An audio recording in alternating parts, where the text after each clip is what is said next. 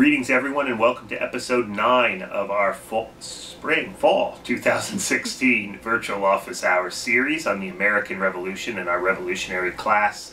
My name is John Fea. I teach American history here at Messiah College. Our producer is Abby Blakeney. She's behind the camera, as always. She just got her student teaching assignment today, so we're excited to hear about that and where she'll be teaching in the spring. Um, not to worry though, she'll still be she'll still be producing the off virtual office hours while she's student teaching. We have dueling George Washingtons here. We have the bobblehead and the Pez dispenser. We gave the rest of the founding fathers the day off because today we are going to be talking about a letter that George Washington wrote in September of 1776 to John Hancock, the president of the Second Continental Congress. Uh, we have finally got into some military history in our American Revolution class. So we've been talking about some of the battles and some of the war and some, some things about the war and some military strategy. Uh, and in this letter, uh, Washington is very much whining about uh, the army that he has. Uh, to put it into context, he's just been driven um, out off of Long Island by the Army, the British Army, in the so-called Battle of Brooklyn or the Battle of Long Island. Uh, he is now in Harlem Heights, uh, where he is on the run. Basically, the British are going to eventually drive him out of Manhattan, uh, out of New York, and, and across New Jersey in the next several months.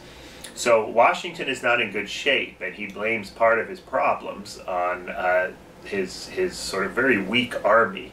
And he suggests in this letter several problems uh, with the Army in the early years, early months, I should say, of the war.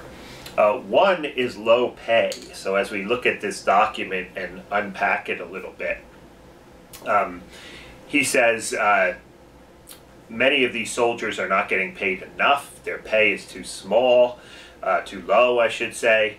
Um, and then says um, the officer makes you the same reply with this further remark uh, talking about the officers in his army. He says that his pay will not support him, and he cannot ruin himself and family to serve his country when every member of the community is equally interested and benefited by his labors.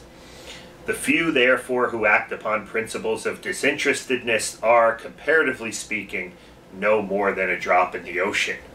So here Washington is comparing uh, the kind of self-interest uh, of his soldiers. Many of them are militia. Many of them are signed up for short-term contracts, and then they need to go back home and handle their harvests and their daily activities on their farms and in their communities. Um, but Washington saying they're paid so low that it's very hard for them to be disinterested. It's very hard for them to be anything but self-interested because their pay will not quote unquote support him or them. So I think this is a this is one of Washington's arguments to try to establish what he says later in the document, an army upon a more permanent footing, uh, a more professional army. Uh, and by the end of the war, the, the uh, Continental Army moves uh, in that direction. Uh, another problem, I think, is militias. Washington has never been a fan of the militia. Uh, these are people who are mostly citizen soldiers. They're very poorly trained. Uh, they do have some shining moments, for example, in the American Revolution, such as later on at the Battle of Saratoga and some other places. But at this point, the militia, uh, Washington's wondering how he can sustain a, a, uh, uh, a war against Great Britain with militia. So he says in this letter, um, to place any dependence on the militia is assuredly resting upon a broken staff. Men just dragged from the tender scenes of domestic life, unaccustomed to the din of arms, totally unacquainted with every kind of military skill.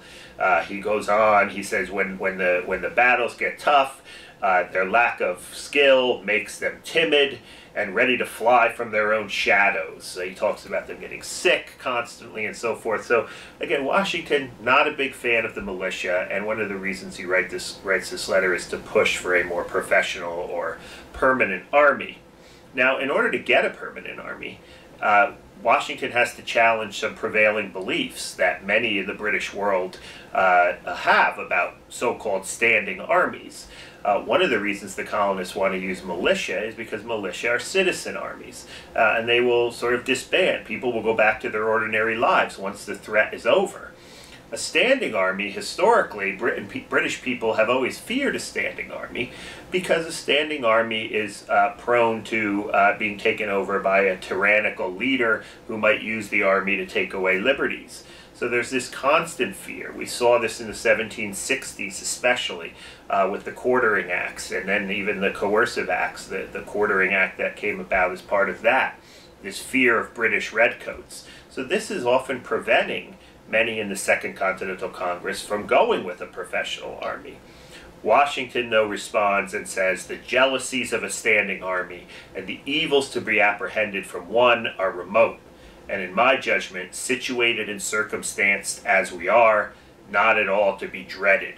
So here he's challenging that notion, right? I know, I understand the dangers of standing armies, but in this case, the danger is not that great. Uh, and Washington's actually going to convince the Second Continental Army to give him leadership of a more professional army as the war goes on. Uh, so these are some of the military concerns that George Washington, the Continental Army, the Revolutionary Cause, the Second Continental Congress uh, are having to face uh, as this war gets underway in the summer and fall of 1776. We'll be back next time uh, and talk a little bit more about this course we're teaching on the American Revolution. Uh, so have a good week.